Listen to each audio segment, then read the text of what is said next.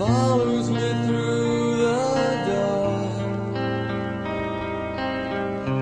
Bring back an innocence, a strength to fill my heart.